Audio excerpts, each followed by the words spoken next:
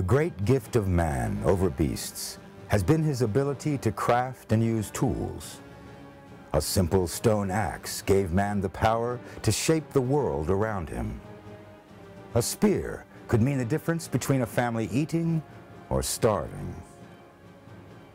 But the axe and the spear could also become weapons as individuals and tribes and eventually nations struggled against each other in their fierce determination to survive.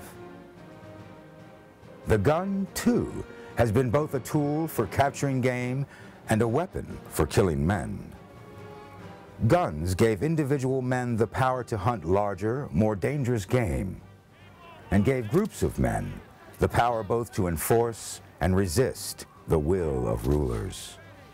The United States of America is a nation born well after the invention of firearms and whose size and influence expanded alongside the development and with the use of firearms. What were the guns that conquered the land that would become the United States, and how did they develop? How did firearms change the course of this continent's future? And how were advancements in firearm technology used by men and even other nations throughout the American experience? Join us as we trace the history and development of the gun and the evolution of the firearm.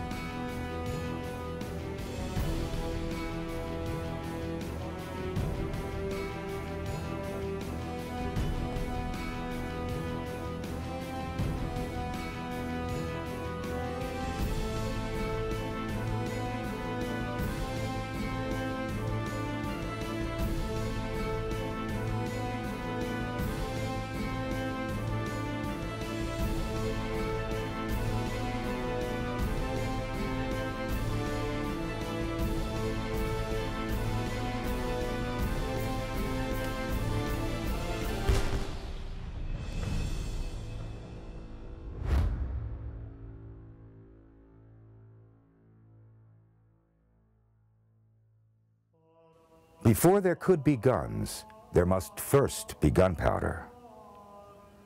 Over a thousand years ago, a Chinese alchemist combined potassium nitrate with sulfur and charcoal with explosive results.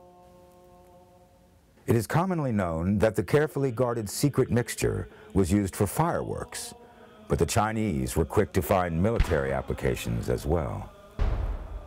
Early weapons included gunpowder-packed arrows which would blast off like a rocket to explode into enemy lines. Over the next centuries, they would develop the first cannons and grenades as well. The fire lance appears to be the first handheld firearm. A hollow bamboo tube was filled with gunpowder and some small projectile. The weapon had a range of only a few feet, so it was used in hand-to-hand -hand combat, attached to the end of a spear.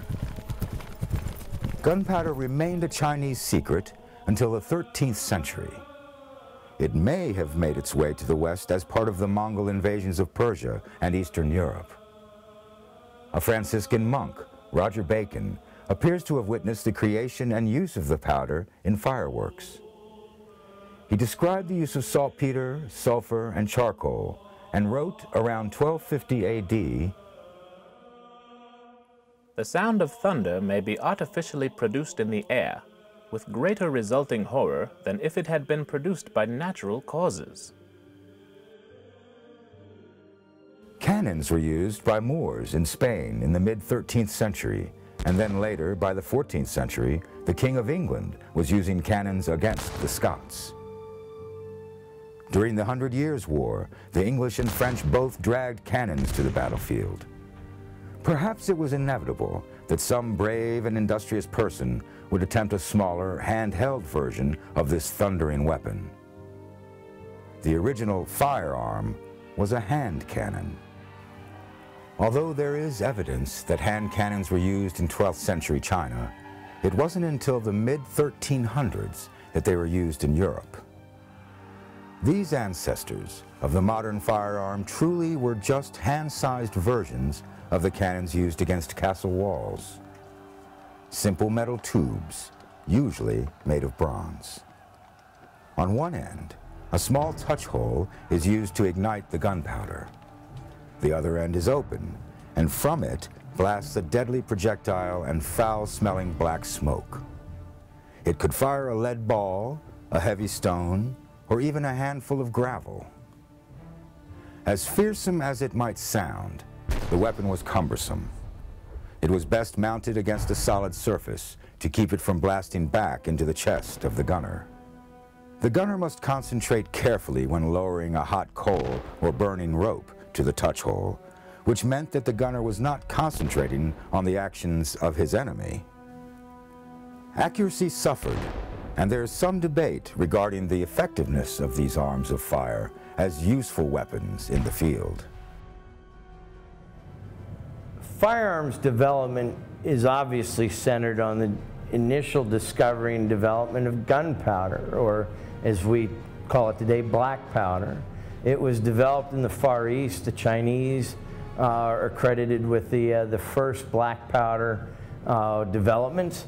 And uh, it wasn't too long before black powder, originally used uh, for rockets and uh, for signaling and, and for fireworks, just as they are still currently used today to mark celebrations. Those were the initial uses that the Chinese uh, put gunpowder to when it was first developed. It took a while for it to uh, travel to the West and, uh, and find a home in Europe. And it was through the introduction of gunpowder to the Europeans that firearms first began uh, to, to show themselves on the uh, scene. Uh, we know that as early as 1350, uh, a hand cannon was developed uh, that would fire projectiles with the aid of gunpowder.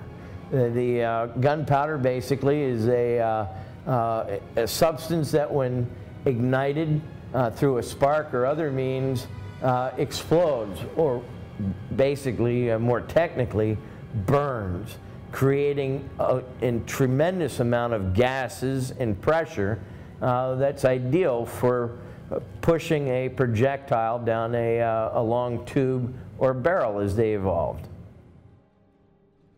As the 14th century advanced, so did the technology of the gun. Key advances included adding a wooden stock so that the gunner could brace the weapon on his shoulder. Even more important was the change in the ignition process. The goal was to allow the gunner to sight down the barrel of the gun while applying the igniting spark to the gunpowder.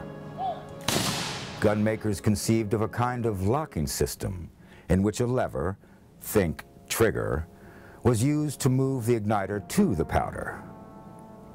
The matchlock was the first truly effective lock system and worked by lowering a slow-burning match to the ignition powder.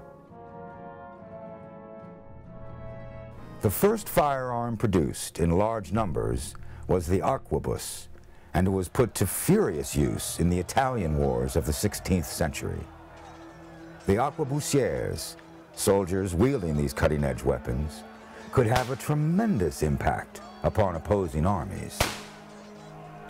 Though the loading and firing of these old firearms can seem ponderous in comparison to modern guns, it had a faster rate of fire than the crossbow. Meanwhile, the arquebus could be mastered more quickly and in larger numbers than the longbow, and was more powerful than either bow. At first, the arquebus was particularly useful against cavalry, especially when partnered with pikemen. This pike and shot formation revolutionized the Spanish army, which used it to defeat the French in the Battle of Cerignola in 1503. The arquebus could fire a heavy lead ball, but it could also fire small shot, which would scatter into the face of a charging foe.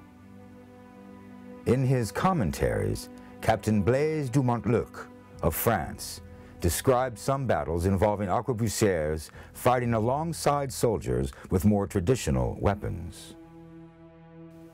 The company I commanded was no other than crossbows, for at this time the use of the arquebus had not as yet been introduced among us. Then six Gascon arquebus came to us from the enemy, which I had received into my company. It wasn't long before de Montluc had squadrons of arquebusiers under his command. But he himself would fall victim to a shot from an enemy arquebus. He survived the wound, but his face was shattered.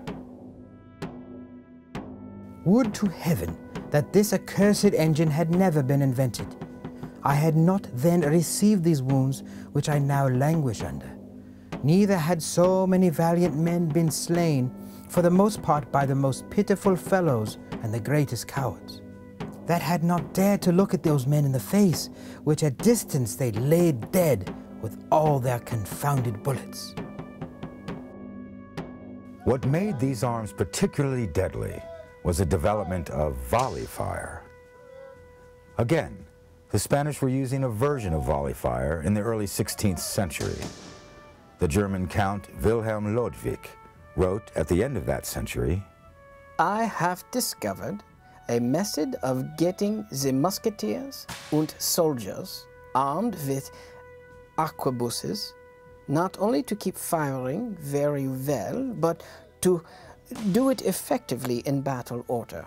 That is to say, they do not skirmish or use the cover of hedges in the following manner. As soon as the first rank has fired together, then by the drill they will march to the back. The second rank, either marching forward or standing still, will fire together and then march to the back. After that, the third and following ranks will do the same. Thus, before the last rank has fired, the first will have reloaded. As good as the advancement that the matchlock was, it still had drawbacks. It was difficult to keep the slow match lit in wet weather. And in dry weather, failure to keep the lit match away from stored powder could have disastrous results. Unintended explosions aside, the burning match created both a glow that could be seen by an enemy at night and an odor that could be smelled, giving away the gunner's position. But this was the Renaissance period, and advances were taking place in all disciplines. The new art of gun making was not an exception. The wheel lock applied the engineering of clockwork to the problem of igniting gunpowder. The wheel lock was a spring-loaded steel wheel, wound tight like a watch until it caught or snapped against the trigger. When the trigger was pulled, the wheel would spin against a piece of pyrite, generating sparks which would then ignite the gunpowder in the priming pan. The wheel lock allowed cavalry to take greater advantage of firearms. It was difficult to keep the slow match of a matchlock gun lit while riding horseback, a problem eliminated by the wheel lock. It was also easier for cavalry to fire smaller one-handed guns. Beginning in the 16th century, it was customary for cavalrymen in Europe to carry a brace of pistols into battle in saddle holsters. These were, after all, still single-shot weapons. But the complex design of the wheel locks meant that they were expensive to produce. The common soldier was not afforded such arms. They were more commonly used in hunting, while matchlocks were predominant in the militaries of Europe. Of course, what truly made the guns effective was the incredible destruction they wrought upon the human body. Even armored knights could be taken down at close range. For a time, armorers tried to compensate by building and designing heavier body protection.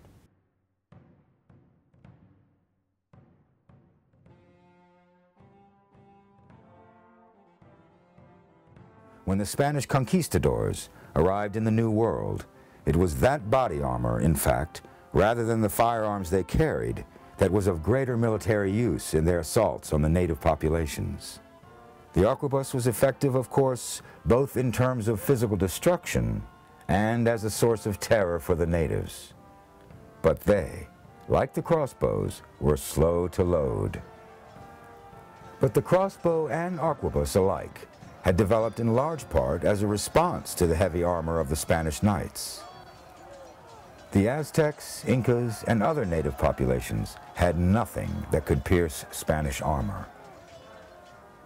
Of course, the absolute deadliest weapon that Europeans brought to the New World was smaller than the eye could see, the germ. Smallpox and other maladies wreaked havoc among the natives of South and North America, while Europeans on the other side of the world continued to perfect the art and science of guns.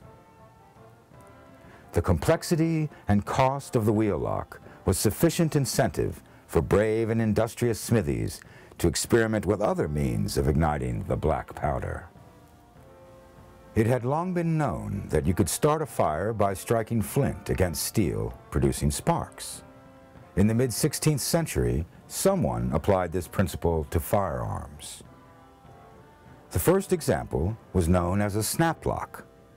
A piece of flint was held by a set of jaws in the gun's cock. When the cock was pulled back, it would catch against a small lever. When the trigger was pulled, the lever pulled back, and the cock snapped forward, striking the flint against a steel plate. The force of the strike would push the plate back, exposing the gunpowder in the pan at the same time that the flint drew sparks from the steel.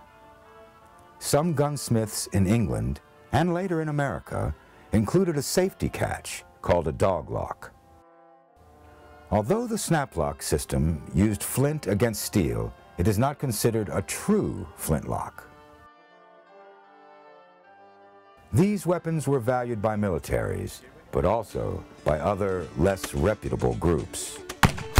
The late 16th and early 17th centuries were the glory days for the infamous pirates of the Caribbean.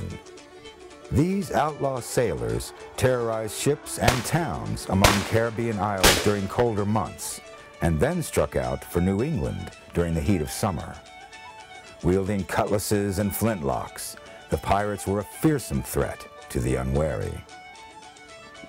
Many New England pirates actually began as privateers hired and commissioned by the colonies to strike at ships owned by England's enemies. But when England was no longer at war with those nations, the privateers could turn to piracy. To defend the colonies against external threats, including pirates, but more often hostile native tribes, governors established local militias. Every able-bodied male was expected to serve in the militia, and every home was expected to have at least one working firearm.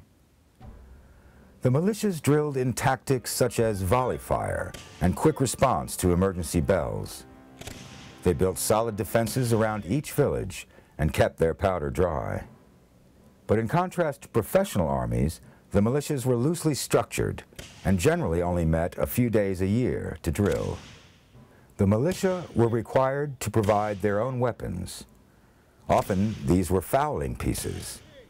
These were popular for their versatility, able to fire a single large ball or a handful of shot for hunting waterfowl. English colonies struggled in their relations with the native populations. Though these were friendly relations at times, there were also periods of conflict. During a conflict known as King Philip's War, New England colonists and their own Native American allies battled against a confederation of other native tribes. In that war, a colonialist named Benjamin Church emerged to form a company of colonialists and allied natives. Church learned the natives' tactics for moving through the forests and swamps undetected and fighting a more guerrilla style than was known to Europeans. These were the first American Ranger forces and Benjamin Church is considered the father of American ranging. These skills proved valuable, for the conflicts did not end when one of Church's native allies killed the so-called King Philip, a native chieftain. From the late 1600s, almost up to the American Revolution, there were a series of wars between English colonials and French colonials, each having their own allies among the Native American tribes. The most famous is the last one, known in America simply as the French and Indian War, ending in 1763. But there were others, with Europeans and natives alike, wielding muskets in their struggle for control of the New World.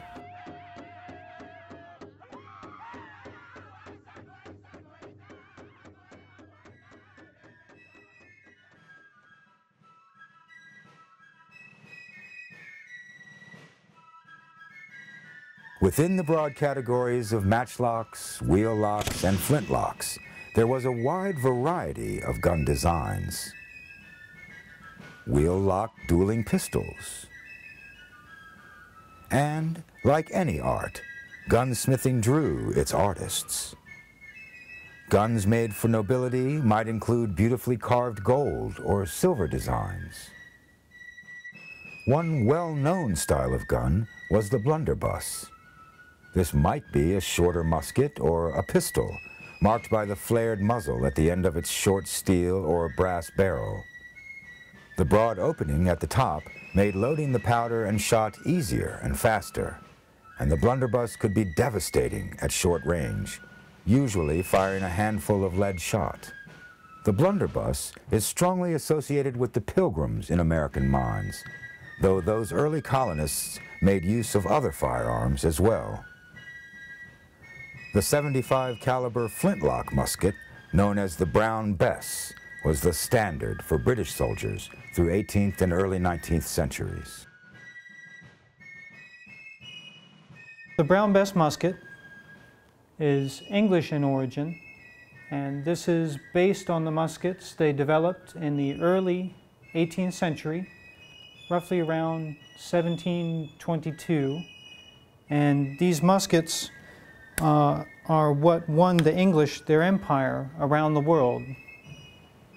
These muskets are all roughly around 75 caliber, smooth bore muskets, and they use a flintlock as the system of ignition.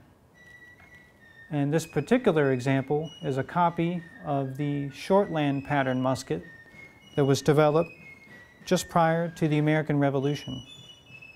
Uh, this example has uh, the mark Tower on the lock plate, indicating that it had been inspected in the Tower of London. These things were battle winners in their time. Uh, they are smoothbore and inherently inaccurate. They're only accurate out to about 50 to 75 yards. Anything greater than that, the accuracy really drops off quite a bit. Uh, this thing is quite simply loaded. A soldier would take a cartridge from his cartridge pouch, normally worn at the waist or from a broad sling on their right hip. They would draw a cartridge from their pouch, bring it to their mouth, tear it open, pour a little bit within the pan, shut the pan, pour the remainder of the gunpowder down the barrel. They would draw out this long iron ramrod and ram the whole cartridge down with a tamp and return the rammer to the pipes just underneath of the barrel. Then the soldier was ready to fire. A good soldier was supposed to be able to fire three shots in a minute. I know I've seen people that can get between four and five shots in a minute with one of these is uh, really quite a feat. The comparable gun among the French was the Charleville musket, a 69 caliber smooth bore musket. These muskets were standard issue for French infantry after 1717 named for the armory in the Charleville-Mézières, Ardennes, France. The Charleville, like the Brown Bess and other smoothbore muskets, was accurate to around 50 to 100 yards. The 1717 Charleville had a pinned barrel, like the Brown Bess, but the 1728 model would have three barrel bands instead. This was easier to disassemble and clean and was a stronger design for bayonet combat. The gun was about 60 inches long and about 9 pounds. The Charleville and Brown Bess were sturdy, dependable flintlocks, perfect for their intended purpose. The goal was not individual accuracy. When the armies of Europe met on the field, they gathered into formation and fired volley after volley of heavy lead balls into the opposing forces. The soldiers could load and fire roughly three shots per minute. As the smoke from the black powder made it difficult to see, even within the limited range of their guns, they did not place a high value on marksmanship. Once their shot was spent, the soldiers would affix bayonets. With bayonets attached, the long guns were effective pikes for use against cavalry and could be deadly hand-to-hand -hand weapons as well. The Charleville and Brown Bess, like most firearms of that day, were smooth-bore muskets. It had been known for some time that a rifled barrel could fire a bullet further and more accurately. A rifled barrel has a pattern of twisting grooves which gives the projectile a spin as it leaves the barrel. That spin gives the bullet stability. But rifled barrels were more prone to fouling by the black powder used during that period. Also, for a bullet to take advantage of the rifling, it would need to fit tightly into the barrel. This made loading more difficult. Smoothbore guns like the Brown Bess and Charleville could be reloaded more quickly and military tactics at the time did not require the range or accuracy afforded by rifles. But hunters could appreciate both of these characteristics. In America, in the mid-18th century, rifles were being made by smiths in Virginia and Pennsylvania. Though fowling pieces and European-styled smoothbores were popular and common, the rifles were the truly American-made guns. The American long rifles were developed by gunsmiths of German ancestry. On the frontier, a hunter's powder and shot were in short supply. Whereas European armies needed to load and fire as quickly as possible without regard for an individual's accuracy, the frontier hunter needed to hit his target on the first shot, or else see his family's dinner bound off into the woods far faster than he could hope to reload. The time would come when the ranger tactics, learned and developed by Benjamin Church, and the marksmanship of the American hunters would be put to a different use. Tensions between the American colonies and the British government were growing. Committees of safety were cropping up all over the colonies taking control of the militias, watching out for royal encroachment on colonial rights, and eventually gathering arms for the coming conflict. When I was a kid growing up and reading about the uh, causes of the American Revolution in the uh, history books in school, I was under somewhat of a uh, uh misguided notion that the American Revolution began because of uh, a number of things that had set the colonists off against uh, King George III. Uh, unreasonable taxes, tax without representation, the Boston Massacre, the Boston Tea Party, all these things had conspired to ferment a level of, uh, of unrest in New England. And uh, the American Minutemen uh, were called to bring out their squirrel rifles uh, after Paul Revere's ride and, uh, and meet at Lexington Green. And they, uh, they started the, uh, the American Revolution on the morning of April 19th, 1775. The thing that I found through more research and study is that it was far more involved and evolved than that. The American Revolution had its seeds going back to the French and Indian War almost uh, 20 years earlier.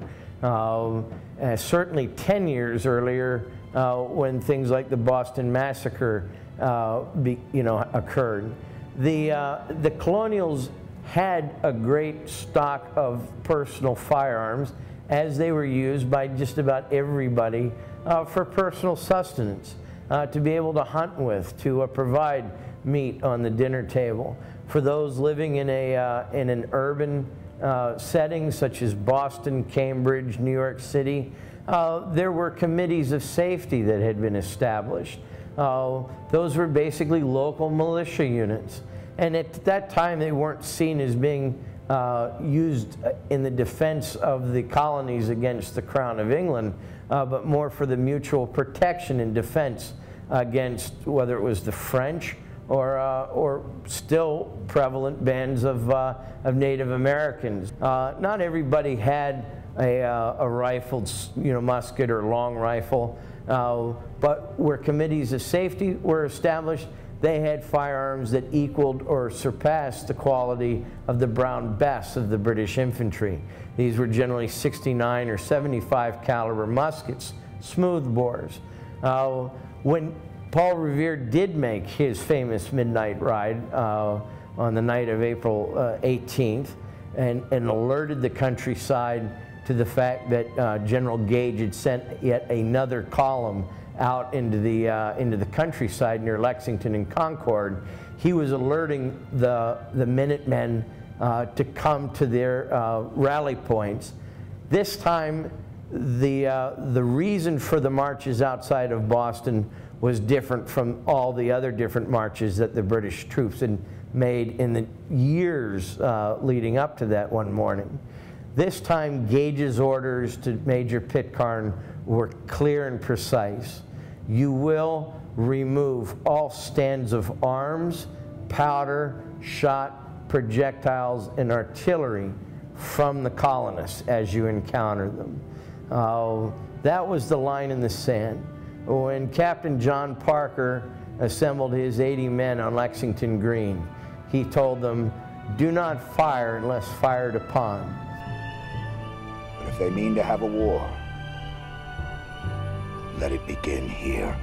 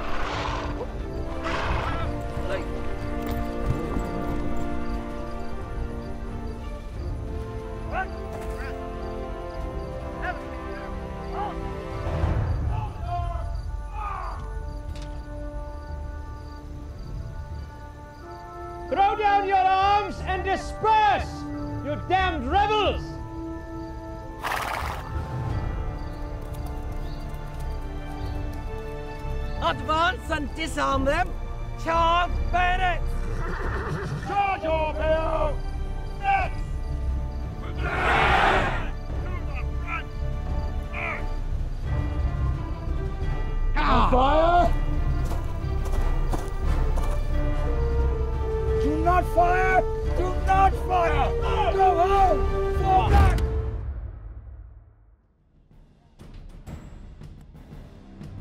And soon would come the shot heard round the world. Patriots throughout the colonies would put muskets to shoulder and fight for their liberty. A liberty that would be forged in battle, achieved and defended by the American gun and the evolution of the firearm.